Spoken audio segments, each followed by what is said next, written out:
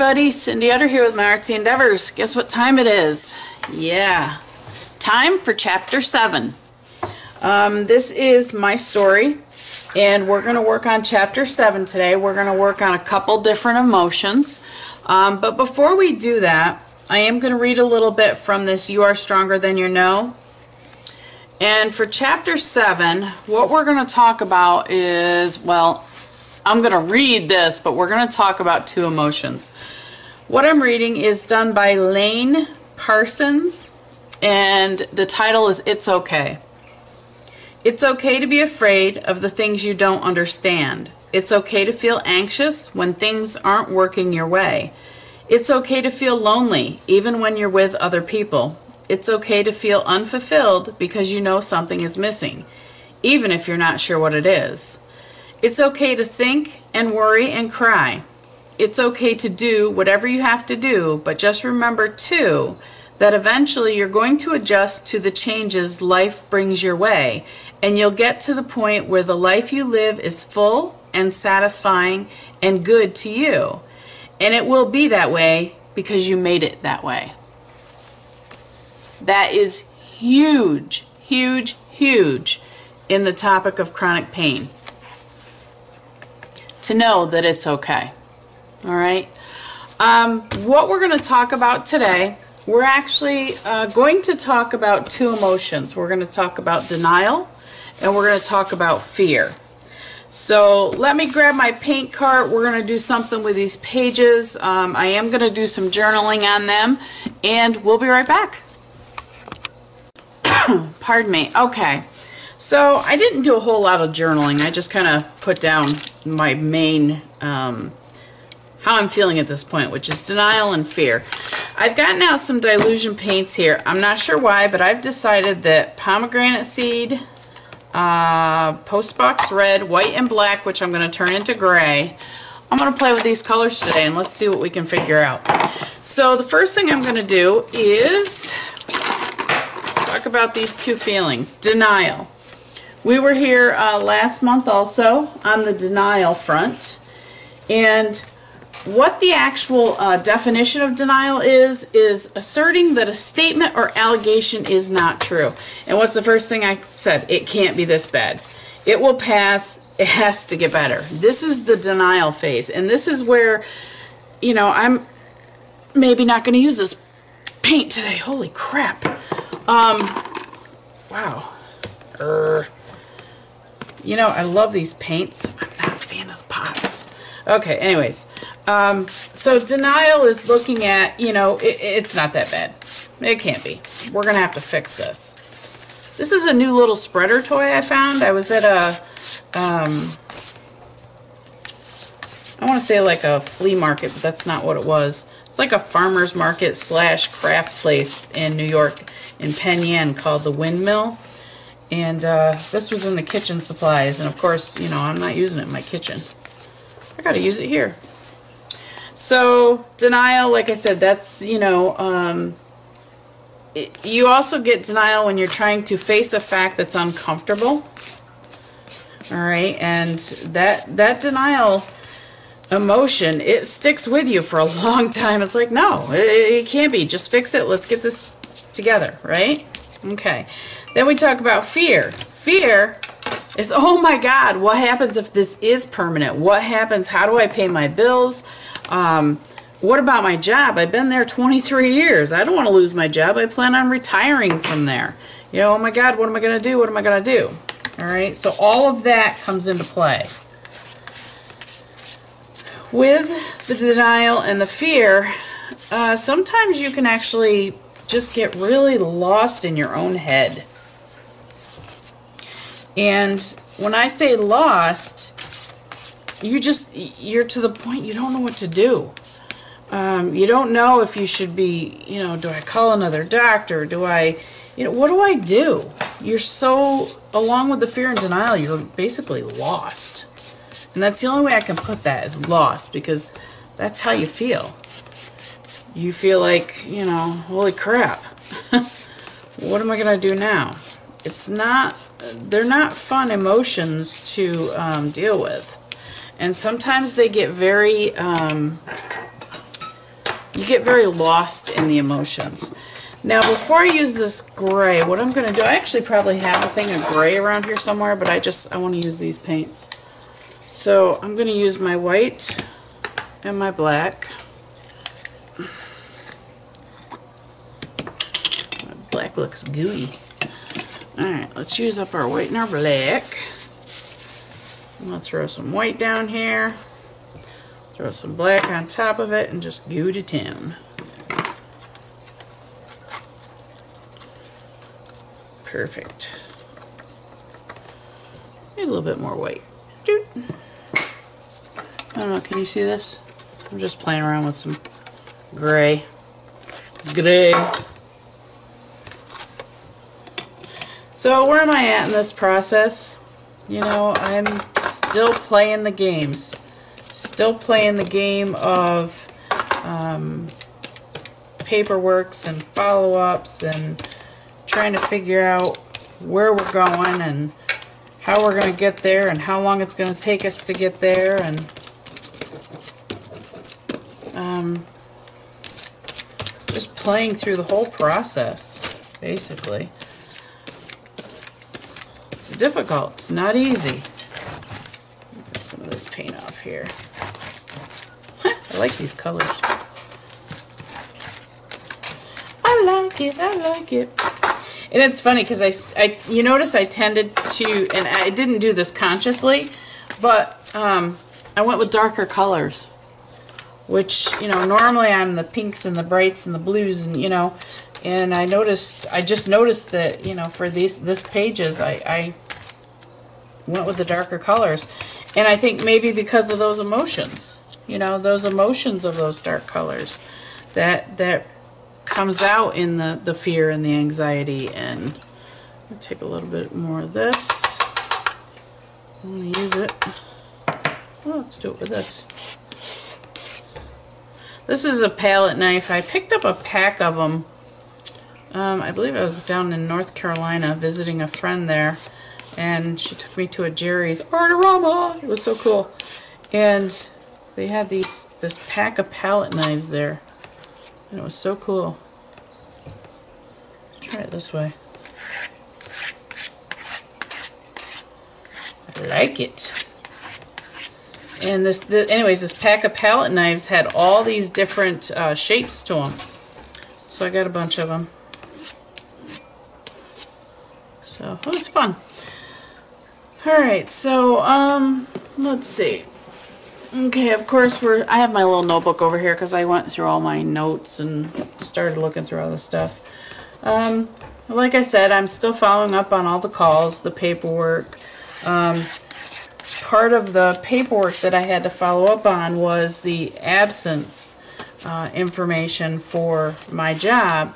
Because I'd been there so long, yes, I was allowed a certain amount of time off for my injury, um, but it was, um, we had to make sure all of the medical paperwork and that kind of stuff was in on time so that I could get approved for my absence and not um, lose my job at that point.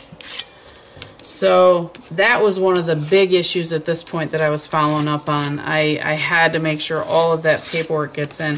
And let me tell you, it, it's so difficult when you're trying to make sure all that paperwork gets in and on top of that you're dealing with um, the workers' compensation insurance company. You're dealing with all of the doctors. You have to make sure that they all get the paperwork in so that you don't get in trouble.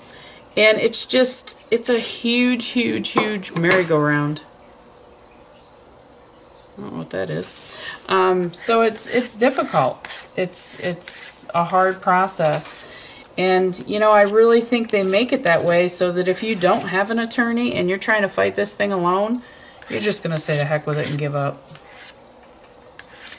So that's where I'm at mentally is the whole denial and the fear. Um, those are emotions that come and go over a period of time. Uh, I wish I could say, you know, you felt the emotion at one point and then that was it.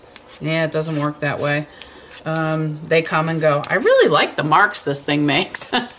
so I'm sitting here having fun playing with my mark maker. Um, Alright, so Like I said, I wish I could say they just come and go, but they don't. They're here to stay. All right, so let me dry this up real quick, and then we're gonna, we need to figure out how we're gonna go about this. Actually, you know, I like that, but something's telling me to take my brayer. What happens? Oh yeah, it just gets rid of all those marks. So we'll just get rid of a few of them here and there. Why not? Let's make a mess of the page. We can, because fear and denial does that to us. It makes us a mess. And if any of you have dealt with this, I want to call it crap, you know exactly what I'm saying. It's not an easy thing. Alright. Just clean off the brayer on another page. Okay, let's dry this up and let's see where we're going to go from here. I'll be right back. Okay, so I've spent the last hour looking for a set of alphabet stamps that I have which have big letters on them. And do you think I can find them? No. So anyways, check this out. this is a girl that I did back in January of 13. That is when I very first started. So anybody that says you can't draw, the difference between then and now I think is a little bit. So um, it just takes practice, and trust me, I'm not the best. This is just a piece of, um, it's a jelly print on a piece of copy paper, and I've got my archival ink pad here. And what I want to do is I just want to use these stamps I'll start out with DE.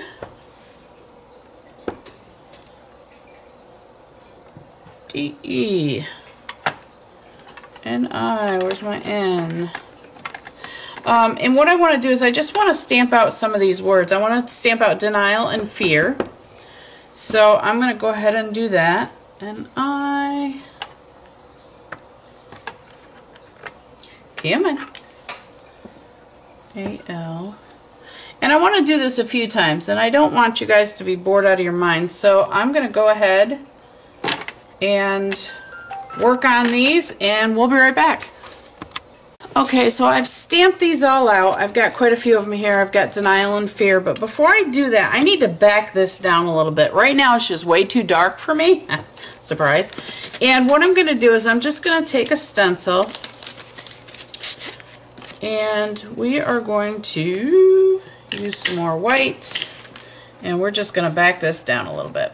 Now, um, while I'm doing this, I just want to let you know, at this point in the process of the chronic pain, I am, they've got me on quite a few different medications. They've got me on muscle relaxers, um, they've got me on painkillers, they've got me on a pain patch, which, believe it or not, all of these lovely things I still use. Um, they're talking about maybe getting some shots, which we're going to get into that. And then they also want a new contrast MRI, which I think I talked about that last week, or last chapter. And then also, um, my doctor wants, my surgeon wants a uh, an MRI of my entire spine. He wants to look at my neck. He wants to look at my um, the rest of my back. So these are all things that, you know, along with the, the paperwork, I'm still following. Okay. and still fighting with, and I, I apologize, pardon me, I have this like frog in my throat, and I think it's because right now it's autumn here in New York, and uh, everything's dying.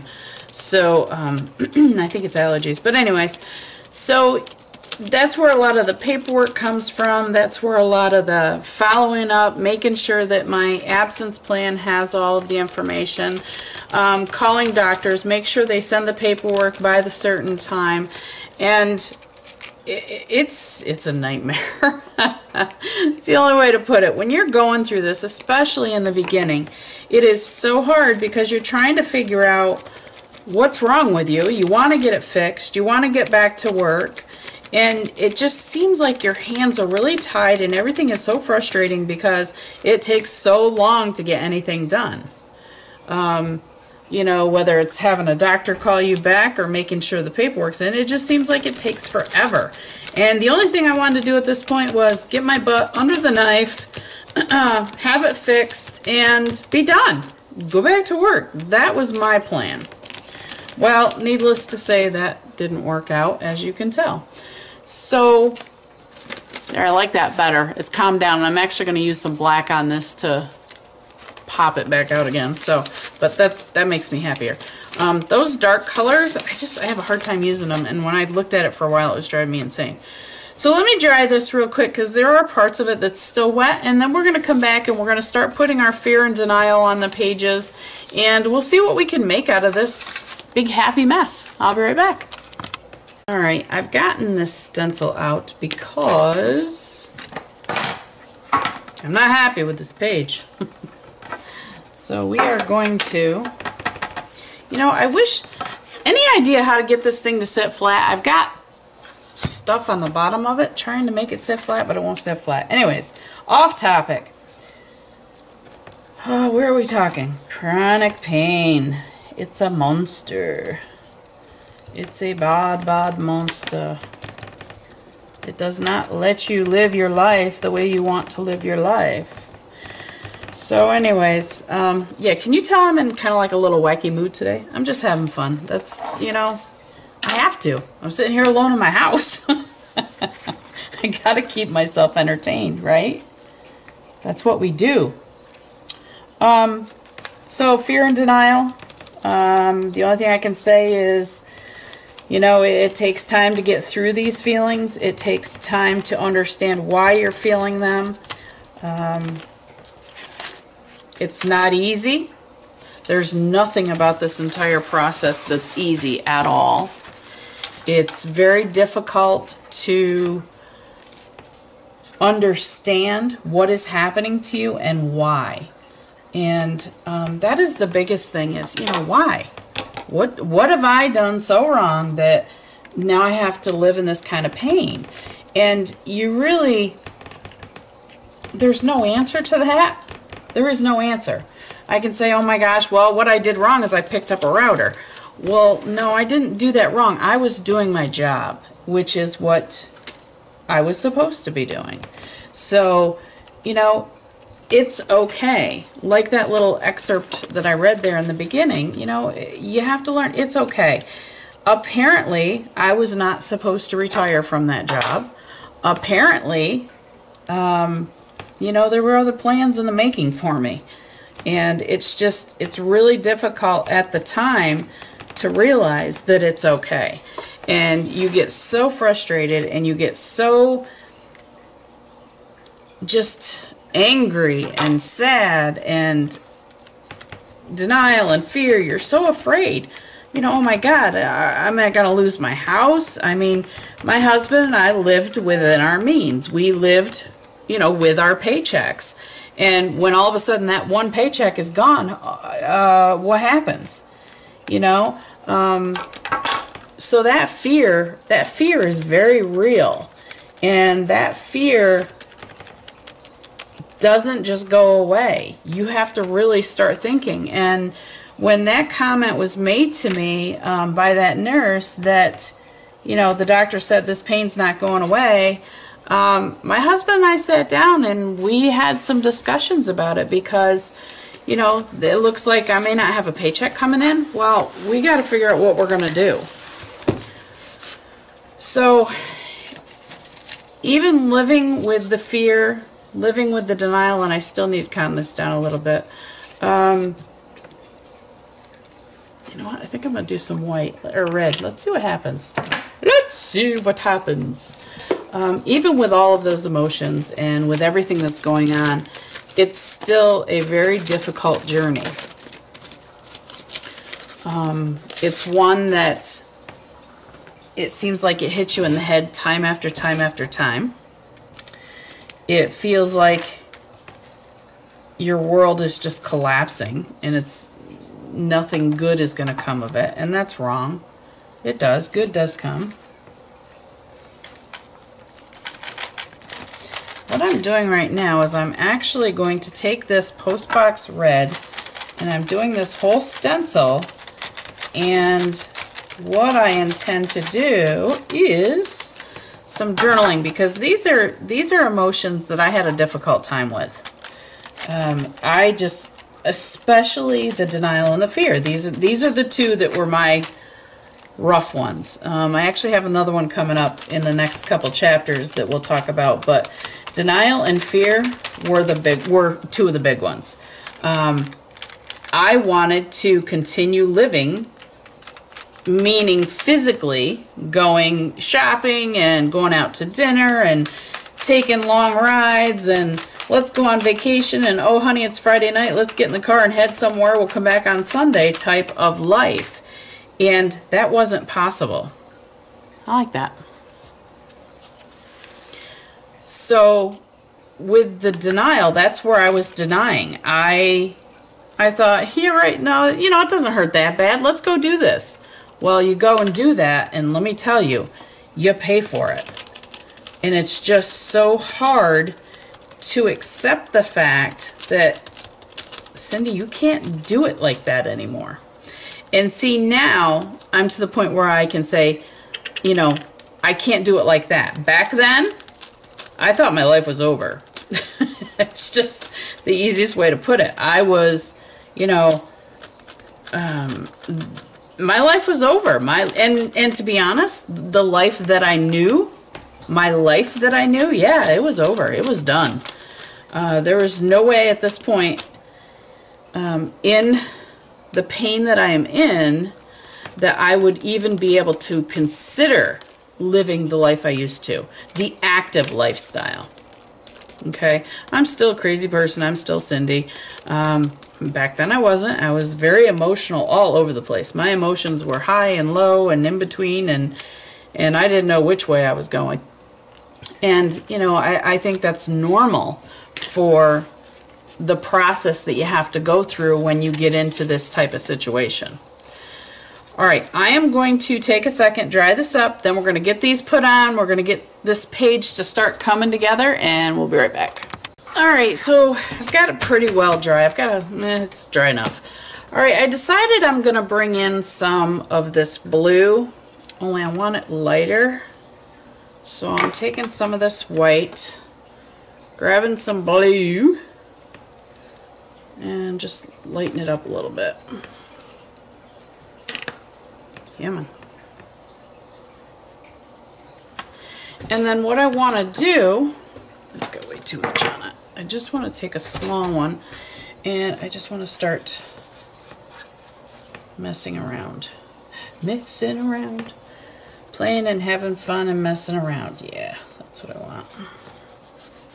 I just want it to kind of again throw that back in the background again and just maybe bring out this red here a little bit. And I'm going to use white to do some accents on it again, but I just, I need this blue to back it down. Back it down. So, um, yeah, like I said, these emotions aren't the fun ones to play with. They're very um, difficult to deal with. And I'll be honest with you, the way I dealt with them was through my, uh, one, through my regular journal. This was before I even got into art journaling. Um, my regular handwritten journal that I would sit at night, um, right before I went to bed, I would sit and just dump I call it a dump.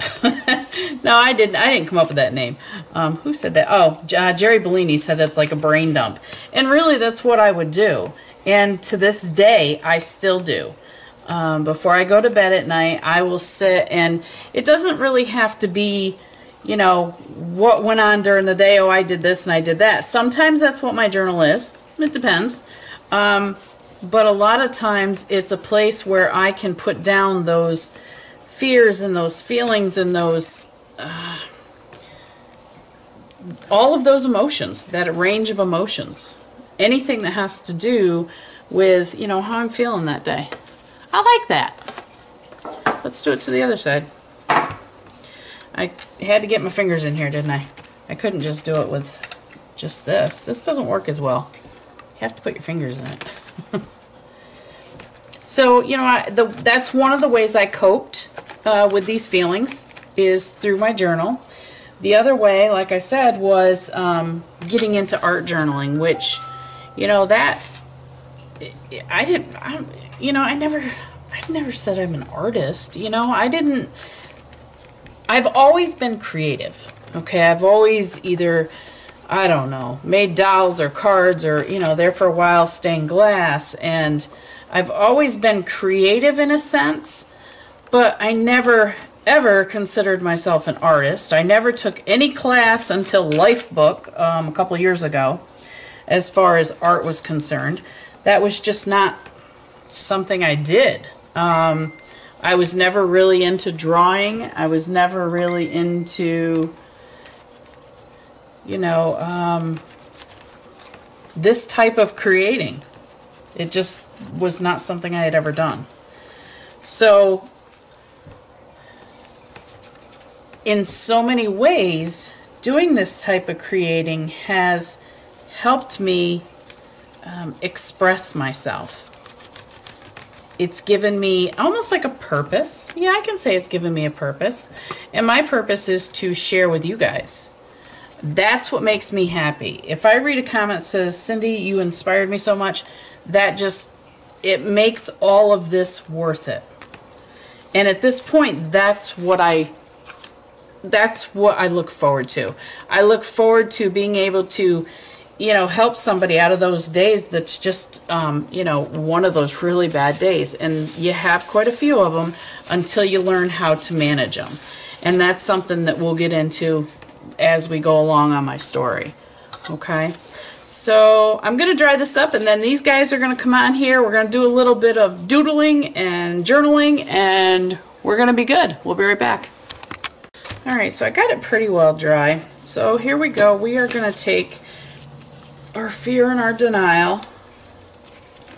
And this is some Martha Stewart decoupage that I got on clearance. That's almost gone. And let's take our denial. I'm going to put it right here.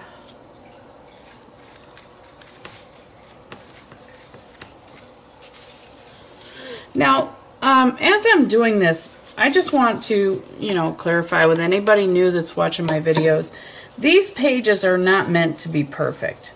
These pages are a way for me, again, to express um, my story, what it, what I've went through with my story, and how I have handled my story. So, you know, I'm not looking for a perfect uh, perfectly constructed art page, art journal page. That's not what I'm looking for. I am playing. I am actually working through still um, some of these emotions, not as bad as it was, you know, three years ago when I was going through all the beginnings of this. It's definitely nowhere near that, that uh, potent of feelings. Let's put it that way. So um, this is just, again, it's basically just my way to tell you my story of how I've went through this, how I've made it to where I am today. And when I say made it, um, I say that quite literally because when you're going through these emotions, just to wake up in the morning, if you get to sleep the night before, um, and see another day, it, it's you feel like it's an amazing feat. It's a something you didn't know if it was going to happen that night when you try to go to bed. Okay, um, meaning that some of these emotions are so difficult to deal with. You you don't know if you want to live through it when you're dealing with the pain, you're dealing with all of these emotions, it's difficult. It's very, very hard process. It's a very hard emotion. It's very difficult to see a light at the end of the tunnel. So that's where I'm at when I'm talking about this denial and fear. You're th you just think, oh my God, I, I can't do this. All right, let me dry it up and we'll be right back. Alright, so I'm going to finish this up. Maybe. Alright, so here we are with denial. I just want to put a little bit around the edges of this. Um, just kind of bring it all back in. I might actually use some pink and maybe some red. Whoops. So, you know, like I said, at this point, a lot of it is status quo, but um, here's where a lot of the emotions start coming in, and a lot of the confusion, and a lot of the fear, and, and just being afraid of, oh my gosh, what's going to happen. So, unfortunately, this is the process. Um, with the denial, all right, so my first um, thing with the denial is it can't be that bad. I'm going to write with this Uni-ball Signo, maybe, maybe not. Okay, we're going to use a white pen. It can't be this bad.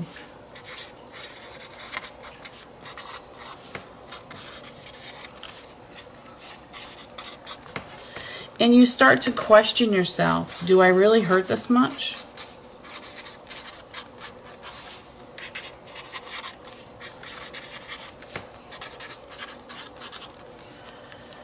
No, it's not permanent.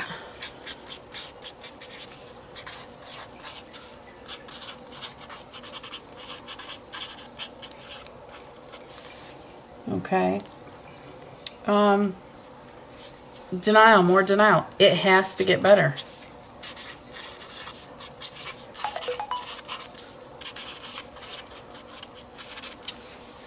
They have to fix it. Or they can fix it, I should say. They can fix it. Right? They went in before in 2010 and they fixed it.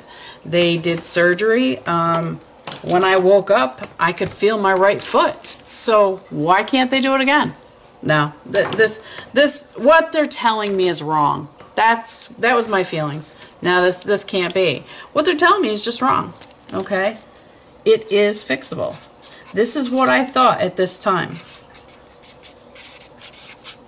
Okay? That was my thoughts. And, oh, I come off something. I'll figure out where it came off. Right here. Um, and my thoughts were, you know, it's it's good. It, I know I can fix it. I know, I know, I know, I know they can fix it. All right. I know it sounds like I'm repeating myself, but it's that strong of an emotion that you just say, uh-uh, this this is, you know, mm -mm, you can fix it. Let's, you know, what are you waiting for? All right. I like this. I love I love these um, window markers from Crayola. One of my favorite favorite art supplies. They're just so fun. And they're like butter. Same with the uh, Maped Helix um, Peeps. These ones as well. The Color Peeps Smoothies. The, they're just so creamy. Alright, so we've got the denial. Now, Alright, now let's look at the fear. It's almost like a slap in the face.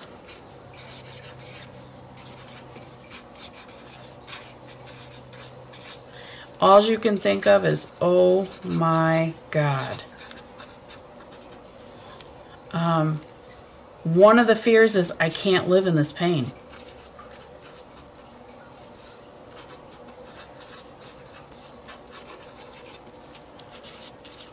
I can't. I can't do it. it, it it's impossible to do because I hurt so bad.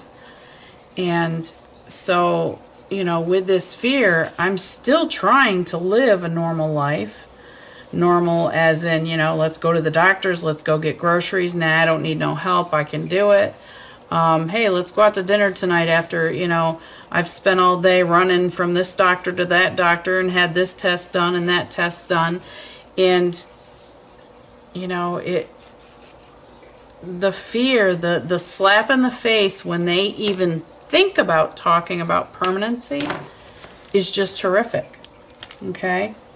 So, how am I going to live in this pain? I'm terrified about living in this pain. The second biggest thing is how am I going to pay my bills?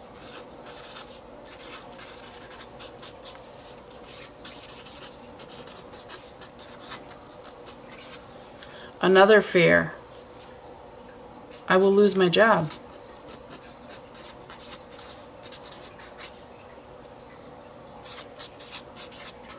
Terrified. 23 years. I spent 23 years of my life in this profession. I don't want to lose my job. I need another seven years and I can retire. All right? Terrified. Completely terrified of pain and losing my job. All right?